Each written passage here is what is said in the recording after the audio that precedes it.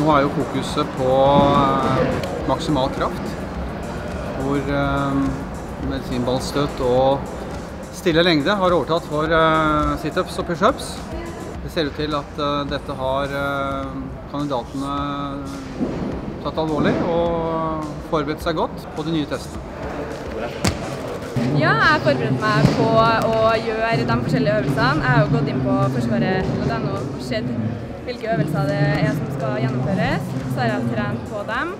Og så har jeg også sett på det treningsprogrammet de har lagt ut, og gjort den styrken som kreves for å klare de ulike øvelsene. da.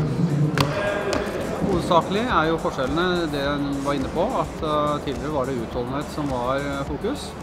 Nå er det maksimal kraft som er eh, i sentrum. Når det gjelder validiteten på, på øvelsene, så, så er det ingen tvil om at eh, både medisinballstøt og eh, still lengde gjør eh, dette mye bedre enn da de to utholdenhetsøvelsene, som krevde mye mer kunnskap og mye mer evne til å se detaljer for at man skulle gi en lik vurdering av hver enkelt kandidat.